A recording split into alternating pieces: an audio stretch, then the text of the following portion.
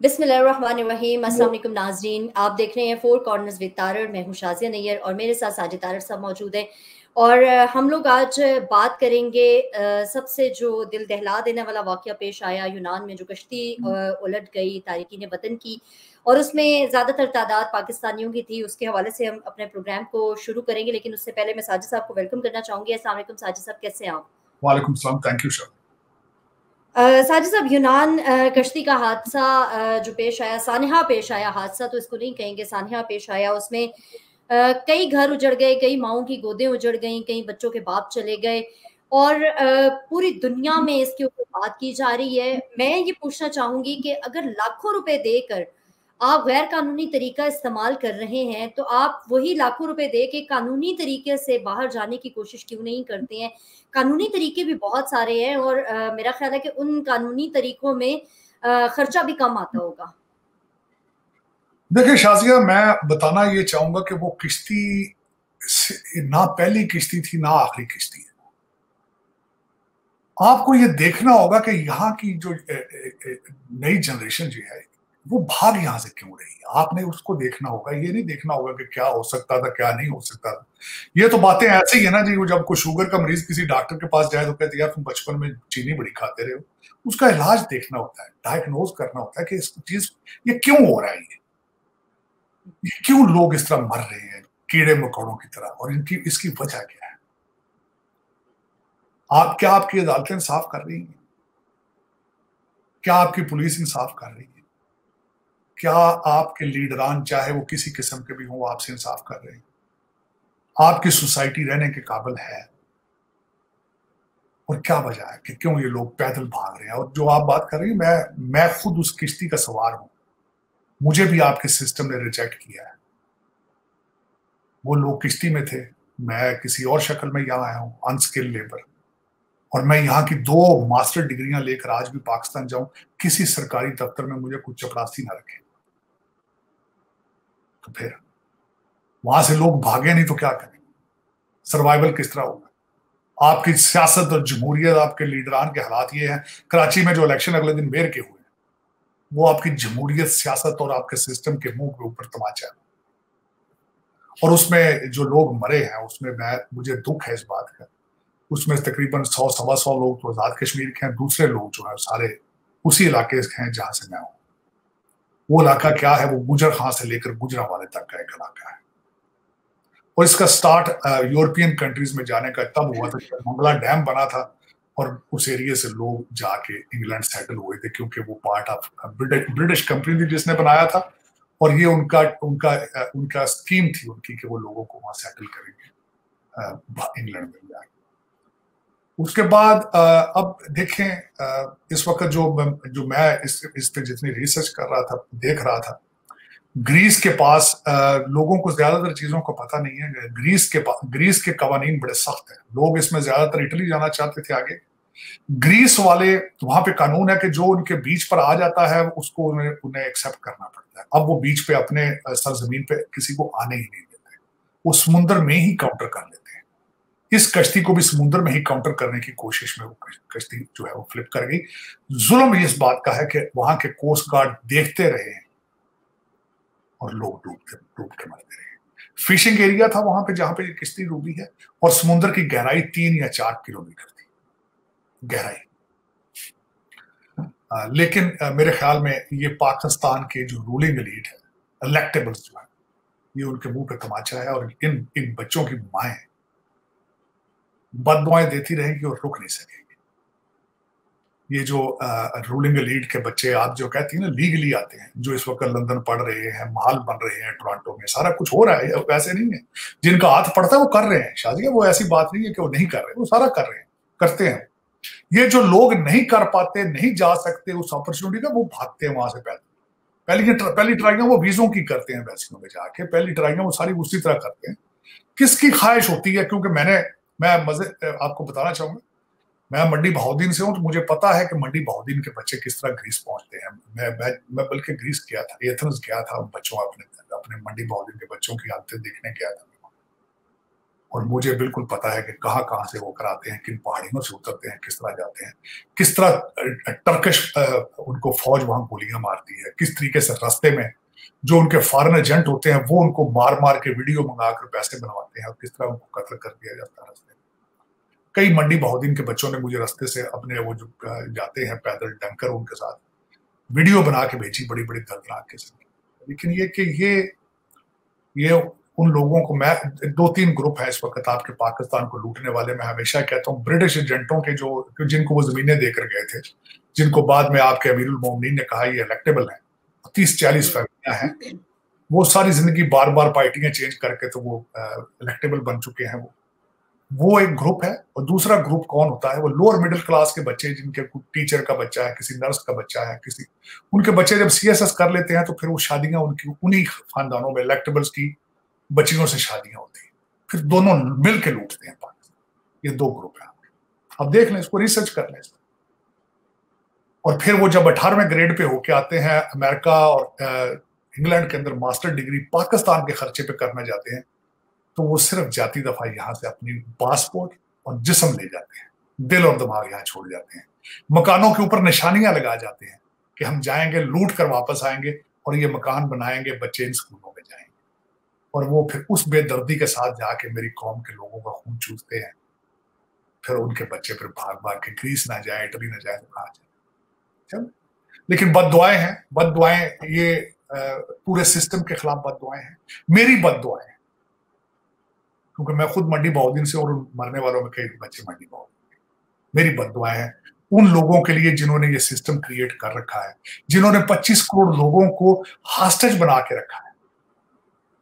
वो वोट डालते किसी को है, जाते किसी के पास छिहत्तर साल से वो पिस रहे हैं। छिहत्तर साल। और कोई, देखे ना, मुझे मुझे बताएँ। मुझे मुझे गाइड करें कि यार, नहीं, तुम गलत कहते हो। देखो, ये फला इंसान है, इससे उम्मीद है। ये फला लीडर बच गया यार, ये कोने में बैठा हुआ था, ये हमें बचाएगा। मुझे बताएँ ये फला इंस्टीट्यूशन है देखें, बड़ा अच्छा ये तरीके से परफॉर्म कर रहा है, ये तरक्की करके आगे आएगा, हमें, हमारे मुसीबतों से निजात दिलाएगा। बताएँ ना मुझे? कन्विंस करें। मैं एक वकील, मैं एक वकील हूँ, वकील का लड़का हूँ, वकील का भाई हूँ, अब वकील का बाप हूँ। मेरे साथ आर्गूमेंट करें। कन्विंस करें मुझे कि नहीं यार, तुम हमेशा पाकिस्तान के खिलाफ बोलते हो, तुमने फलां फलां लीडर हमें बचा के आगे लेकर आए। मुझे बताएँ तो सही। मैं खुद पूरी उम्मीद होना चाहता हूँ। मैं खुद ना उम्मीदियाँ छोड़ना चाहता हूँ। कौन सा ऐसा भी तो हो सकता है कि हमारी जो गवर्नमेंट है वो इन ममालिक के साथ कोई ऐसे माहदे करे कि स्किल्ड और अनस्किल्ड वर्कर वर्क फोर्स जो है वो यहाँ से भेजी जाए ताकि कोई लीगल प्रोसीजर ऐसा हो हुकूमती सत्ता के ऊपर वो और वो पाकिस्तान के लिए भी बेनिफिशियल होगा कि जब यहाँ के लोग बाहर जाएँगे वहाँ पे काम करेंगे तो जर मुबादला पाकिस्तान में आएगा। पाकिस्तान के भी हालात मीशत के बेहतर होंगे। तो हमारी हुकूमत क्यों नहीं इस तरह के कोई मुआहदे कर रही है? शाजिया किस हुकूमत की बात करते हैं जिनके सबके बच्चे अपने लंदन में हैं? उनको आपके उनको आपके बच्चों का दर्द क्यों होगा? उनका क्या मकसद है आपकी भलाई के बारे में सोचा जाए? डार साहब जिस दिन लैंड किए उस दिन वो मिनिस्टर बन के गए पहले पहले तो अदालत गए हैं। दो घंटों में उनकी सारी हर चीज़ क्लीन कर दी गई है और वो मिनिस्टर बन गए हैं। बच्चे फैमिली सारी उनकी वहाँ बैठी। वो आपका क्या ख्याल आपके बच्चों के लिए? आपके बच्चों के लिए मुस्तकबिल के लिए आए हैं यहाँ? कासम कासम कासम के अब्बा, कासम को क्यों नहीं पाकिस्तान बुला लेते? क्यों सिस्टम कासम का अब्बा आपके बच्चों के लिए, मंडी बहुद्दीन के बच्चों के लिए ऐसा सिस्टम क्यों क्रिएट करेगा? क्यों क्रिएट करेगा? अब किस गवर्नमेंट की बात कर रहे हैं? फेडरल गवर्नमेंट सिर्फ़ चौदह मील के अंदर, इस्लामाबाद के अंदर है। दूसरे लुटेरे चार सूबे हैं, चार डाकू उसको पढ़ के लूट रहे हैं उसको। आप खुश हैं सारे? लेकिन मुझे ये बताएँ, छोटी सी मैं बात करूँ, आप तो कह रहे हैं ना, आपके लेबर की बात करें। आपकी तालीम की लेबर की, सेहत की, ये जो आपके ऊपर लुटेरे इस वक्त बैठे हैं, ये क्यों करेंगे? क्योंकि उनके तो बच्चे यहाँ है ही नहीं है। उनकी फैमिली के तो सारी बाहर है। वो क्यों करेंगे आपके आपके फैसले, आपकी बेहतरी के लिए? गवर्नमेंट है वहाँ पे, मुझे ये भी कन्विंस करें कि हमारी गवर्नमेंट है, चल रही है। मैं तो नहीं समझता कि आपकी गवर्नमेंट है। गवर्नमेंट इसको थोड़ी कहते हैं। लूटमार के बाज़ार को आप गवर्नमेंट कह रही है? मैं तो इसको गवर्नमेंट नहीं मानता। मुल्क के लिए कंट्री के लिए मैं छोटी सी बात बताता हूँ। बचपन से मैं हाई स्कूल के बाद मैंने सिविक पढ़ी पहले। सिविक के बाद वो पोलिटिकल साइंस बन जाती है। फिर मैं पोलिटिकल साइंस पढ़ता रहा हूँ। ला स्कूलों में दो दफ़ा गया हूँ। पहली चीज़ सिखाई जाती है रियासत। रियासत एग्जिस्टेंस में किस तरह आई? एक कंट्री बनता है उस कंट्री को स्टेट को स्टेट कहने के लिए क्या क्या लवाजमात होते हैं? आप इस वक्त पाकिस्तान उन लवाजमात से मुबर्रा हो चुका है। रेट ऑफ़ लॉ नहीं है। अदालतें फ़ंक्शन नहीं कर रही हैं आपकी। आपकी पुलिस फ़ंक्शन नहीं कर रही है। आपकी सावरंटी जो है वो नहीं, आपके बॉर्डर आपके कंट्रोल में नहीं है इस वक्त। You don't even come into the category to be called as a state तो इस स्टेट में, देखिए, उधर, बलोचिस्तान में ईरान का तेल ईरान की करेंसी चल रही है ईरान का तेल चल रहा है वहाँ इधर से अफ़गानिस्तान के बॉर्डर पे आपको कंट्रोल ही नहीं है। जिस दिन वो जो जितने मर्ज़ी वो ट्रकों बसों में घुस के आ जाते हैं चले जाते हैं। आपका डॉलर तो आपके कंट्रोल में नहीं था। सारे वो हमारे पठान भाई अफगानी भाई सारे खरीद के ले जा ले, गए वहाँ। आप डॉलर लेस हो गए उनकी इकॉनमी ठीक हो गई। तो ये और दूसरा आपको पता है आ, मैं कोई नई बात शाजिया नहीं कर रहा हूँ हर एक को पता है। हर पाकिस्तानी जिसके हाथ के अंदर स्मार्टफ़ोन मौजूद है आपके सारा दिन चैनल ही तो चैनलों पे लड़ाइयाँ तो होती हैं। आपने कभी देखा कि वो बच्चों का प्रोग्राम चल रहा हो? कभी आपने देखा हो कोई तामीरी बात हो रही हो? सारा दिन क्या होते हैं? एंकर एक दूसरे लोगों को बिठा के लड़ा रहे होते हैं, वो कर क्या इन्फॉर्मेशन दे रहे होते हैं। इन्फॉर्मेशन तो है। हर गधा गाड़ी चलाने वाला, उसको भी पता है कि फला फला पार्टियाँ लूट के खा रही हर किसान जिसके जो पानी लगा रहा है अपनी फ़सलों को, उसको भी पता है कि लौट के खा गया। दुख वाली बात है, हल नहीं किसी के पास। हल करने की सलाहियत कोई नहीं। लीडर कोई नहीं है। होप कोई नहीं है। सारा मुल्क ही लुटी जा रहा है सारा बंद हर बंदे ही दिहाड़ी लगा रहा है ना। वो कहते दिहाड़ी लाओ जी कल किन्ने वेखी? चलो छो कल किन्ने वेखी? उन्हें कहा भैन सारे ही खा रहे हैं असं कि पहली बार खा रहे सारे लुटते रहे पैसे लियाओ पैसे वज़ीर दिफा ख्वाजा आसिफ साहब ने टैक्स चोरी के हवाले से एक स्टेटमेंट दिया है। आप क्या कहना चाहेंगे उस पर मैं उस पर यही कहना चाहता हूँ जो पहले बात कर रहा था कि देखें ख्वाजा साहब ने असम्बली के अंदर खड़े होकर उन्होंने दस डिपार्टमेंट सामने गिनाए कि ये फला फला डिपार्टमेंट है ये टैक्स नहीं दे रहे ये फेडरल गवर्नमेंट मेरी रिक्वेस्ट उसमें मैं उसका बल्कि इसलिए बात करना चाह रहा था कि ख्वाजा साहब अगर आपको सारा ये पता है या तो फिर कोई एक्शन ले उनके खिलाफ। अगर आप एक्शन लेने की सलाहियत नहीं रखते तो आप मेहरबानी फरमाए इस्तीफा ही दे दें आप। क्यों इस कौम को धोखा देते हैं? आपने तकरीर की है मैंने बड़, मैं बड़ी इज़्ज़त करता हूँ उस तकरीर का। बड़ा अच्छा किया। मैंने नोट्स लिए हैं उससे। उस तकरीर को मैंने बल्कि दो तीन दफ़ा रिवाइंड करके नोट्स लिए हैं कि मैं कहीं बोलूँगा जिस तरह ख्वाजा साहब ने जो फिगर दी है बड़े सही फिगर है। लेकिन बाद में मुझे दुख हुआ कि ख्वाजा साहब को हर हकीकत का पता है। लेकिन इसको हल करने की कोशिश क्यों नहीं करते अगर नहीं कर पाते तो असेंबली के फ्लोर पे खड़े होके कहें, ए प्याज इस्तीफा, मैं कर चलना। वो भी ज़रूरत नहीं वो भी हौसला कोई नहीं। ये मैं लेकिन खाया साहब की वो तकरीर सुनने वाली, हर पाकिस्तानी को सुननी चाहिए। उन्होंने एक एक डिपार्टमेंट गिना के उन्होंने बताया कि इन्होंने इतना पैसा देना है फेडरल गवर्नमेंट का इन्होंने इतना पैसा देना है। फलां डिपार्टमेंट इतना टैक्स चोरी कर रहा है, फलां डिपार्टमेंट बल्कि उन्होंने सबसे बड़ी तो बात की उन्होंने जो मुझे सबसे ज़्यादा उन्होंने कहा सुप्रीम कोर्ट के अंदर इस वक्त दो हज़ार अरब रुपए के टैक्सेस के केसेस चल रहे और अदालतें उनको इंसाफ नहीं दे रही। लेकिन ये कि शाजिया मुझे पहला तो दुख है उन बच्चों को जो मर गए बेचारे, और दूसरा दुख यही है कि वो ना हक नहीं मरे, वो हक पे थे मरे। क्योंकि पाकिस्तान के अंदर जो घुटन है जो नाउमीदी है जो मायूसगी है वो क्या करते बच्चे? क्या करते उनके पास कोई उम्मीद उनके पास कोई अच्छा ऑप्शन होता तो वो अडॉप्ट करते क्या कहें? मुझे ये बताए मास्टर डिग्रियाँ लेके मास्टर डिग्रियाँ स्टेम सब्जेक्ट्स में लेके बेरोजगार फिर? बेरोजगार। अपॉर्चुनिटीज़ नहीं है नौजवानों के लिए अपॉर्चुनिटीज़ नहीं है यहाँ पर। और जो लीडर ऐसे हैं हमारे वो कहते हैं यार आटा नहीं मिलता तो क्या है? केक खा लिया वो इस तरह के क्या होगा? साजिद साहब, चाइना ने पाकिस्तान को एक अरब डॉलर कमर्शियल कर्ज के तौर पर दिया है। आप क्या समझते हैं इससे कुछ मीशत पे बेहतरी आएगी? और डॉलर तो मिल गया, लेकिन उसके बावजूद डॉलर का रेट कम होने का नाम नहीं ले रहा है। डॉलर का रेट वहीं पे फ्लाई कर रहा है, जहाँ पे आज से दो महीने पहले था। तीन सौ रुपये में, बल्कि ब्लैक में इस वक्त डॉलर सेल हो रहा है। और वो कीमत जो है, वो तकरीबन तीन सौ बीस रुपये तक गई हुई है। और ओपन मार्केट में डॉलर अवेलेबल नहीं है। अगर आपको डॉलर चाहिए तो आपको 200 डॉलर 300 डॉलर भी नहीं मिल रहा है अगर आपको ज़रूरत है। तो इस तमाम तर सूरत हाल पे आपकी क्या राय है?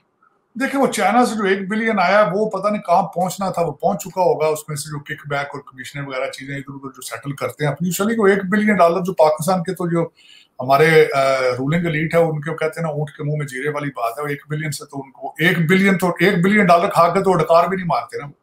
तो दूसरी जो मैं बात करना चाह रहा था, ये टोकन मनी दी है चाइना ने आपको। टोकन मनी इसलिए दी है आईएमएफ ने बिल्कुल आपको जवाब दे दिया है, कोरा। और उसके बाद आप फ़ौरन चाइना की बस में चढ़े हैं आपने पिछली माफिया मांगना चाहते हैं, उनसे रिलेशनशिप बनाना चाहते हैं। उसी के लिए आपके वजीरों ने ये ये गर्दान जो है वो पढ़नी शुरू कर दी है कि अमेरिका जियो पॉलिटिक्स कर रहा है हमारे साथ। और यार, आज पहले दिन करनी थी उसने। जियो पॉलिटिक्स आपके साथ बड़ी अरसे से हो रही है।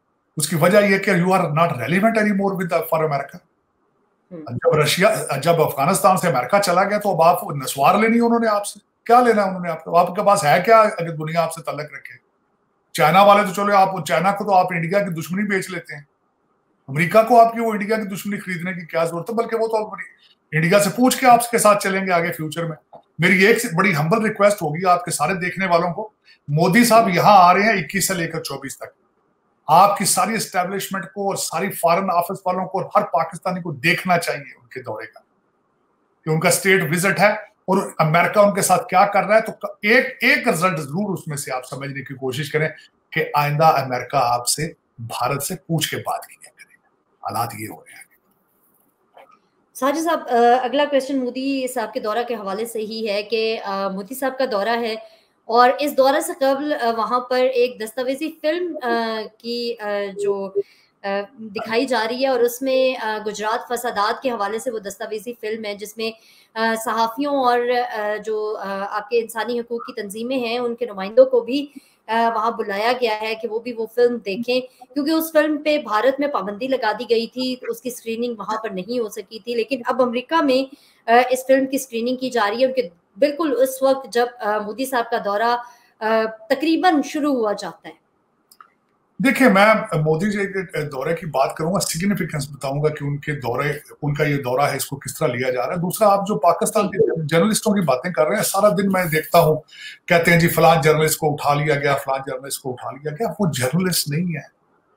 वो पीटीआई के सियासी वर्कर हैं। जर्नलिज्म का जर्नलिस्टों का ये काम नहीं होता कि एक बंदे के सारा दिन गीत गाते रहे तारीफें करते करते पागल हो जाए।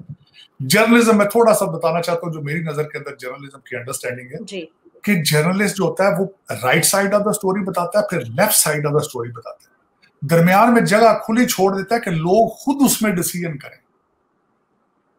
वो दरमियान में जाके लोगों को ये नहीं फिल करके देता कि जी आपने वोट इसको देना ये अमीरुल मोमनीन ने ये मुस्तबिल आपको राइट लेफ़्ट दोनों चीज़ें दिखाएँ उसको। और जिन लोगों की आप बात कर रहे हैं कि जिनको जो उठा लिया गया फलाम ये सियासी वर्कर है भाई ये। प्रापोगंडा मशीनें हैं। इन्होंने यूट्यूबों यूट्यूबों से करोड़ों सिर्फ़ इसीलिए कमाए हैं कि वो सारा दिन अमीरुल मोमिनीन के आगे पीछे गाते गीत गाते कहते मुर्शद मुर्शद। लेकिन उसमें अब मैं बात करना चाहता हूँ मोदी जी के ट्रिप के बारे में, जो सिग्निफिकेंट जो मैं बता रहा हूँ। और मैं जिस वजह से मैं ये रिक्वेस्ट कर रहा हूँ कि हर पाकिस्तानी का फ़र्ज़ बनता है कि इसको देखे और यहाँ से लर्न करे कुछ। कि इंडिया हम हमसे कितना आगे निकल चुका है। इसको कैलकुलेट करने की कोशिश करें इस सारे प्रोसेस को। आप, आपको भी मदद मिलेगी ये समझने के लिए। मोदी जी का यह सातवां ट्रिप है अमेरिका का उसके बाद मोदी जी दू, दूसरी दफ़ा कांग्रेस में स्पीच दे रहे हैं। अब उसमें मैं बताना चाहूँगा कि आज तक जिन्होंने ये दो दो दफ़ा स्पीच दी है वो लोग कौन थे? पहले विंस्टन चर्चिल थे नैन्सल मंडेला थे और इसराइल के प्राइम मिनिस्टर और आज उनमें मोदी जी का नंबर अगला अगला है अब उसके बाद बताना चाहूँगा कि मोदी जी आ रहे हैं यहाँ से पहले दिन वो अपना yoga day international yoga day करेंगे। यूनाइटेड नेशंस के वहाँ वो योगा के इस एक्सरसाइज को लीड करेंगे। फिर डिनर होगा व्हाइट हाउस के अंदर फिर दूसरे दिन कैमला हैरिस और टोनी बिल्कन उनके आनर में लंच देंगे फिर वो सीईओ जो अमेरिकन सीईओ हैं उनसे मिलेंगे और फिर डायस्पोरा से मिलेंगे और यहाँ से उसके बाद वो इजिप्ट चले जाएँगे। पाँच एरियाज़ हैं जहाँ पे मोदी जी जिसको इस, इस अपने दौरे में जो है वो कवर करेंगे। पहली डिफेंस और स्ट्रेटेजी दूसरी हेल्थ केयर तीसरी न्यू हाईटेक स्टार्टअप्स चौथी इन्वायरमेंट और पांचवी एजुकेशनल पार्टनरशिप तो इन सारी चीज़ों को, ये सारी चीज़ें एक तरफ़, मोदी जी का ट्रिप और दूसरी तरफ़, मेरे पाकिस्तान का 300 बच्चा ग्रीस के पास जो है, वो डूब के पानी में मर गया इसके बाद आप फैसला खुद कर लें कि आप कहाँ हैं, कौन है, क्या कर रहे हैं।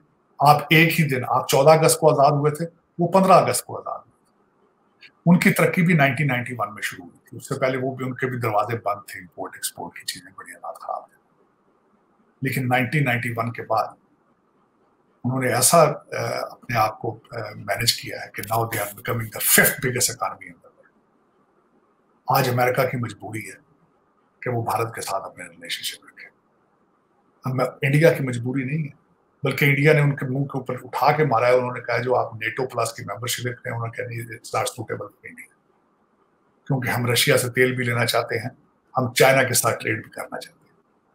अमेरिका की टेक्नोलॉजी भी रखना चाहते हैं। अमेरिका को उन्होंने अपने टांगों में दबा लिया इस वक्त।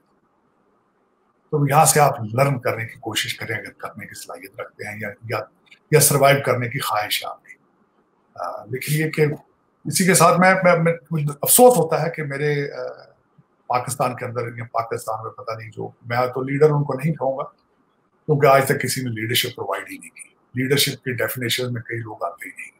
खान साहब एक अच्छे क्रिकेटर और फास्ट बॉलर ज़रूर थे लेकिन वो ना सियासतदान है, ना जमहूरियत पसंद इंसान क्योंकि उन्होंने देख ले, मेरा वो किस तरीके से उन्होंने एक साल प्रापोगंडा किया एस्टेब्लिशमेंट के खिलाफ, एक साल।